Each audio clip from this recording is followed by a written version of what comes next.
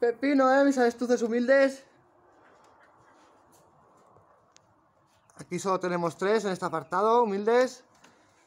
Tengo en total ocho crías